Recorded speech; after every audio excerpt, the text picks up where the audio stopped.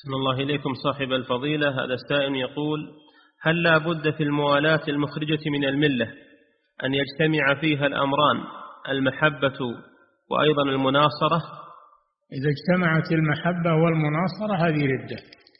أما إذا اجتمع أما إذا أما إذا انفرد أحدهما محبة بدون مناصرة هذه كبيرة من كبائر الذنوب خطر على الإنسان.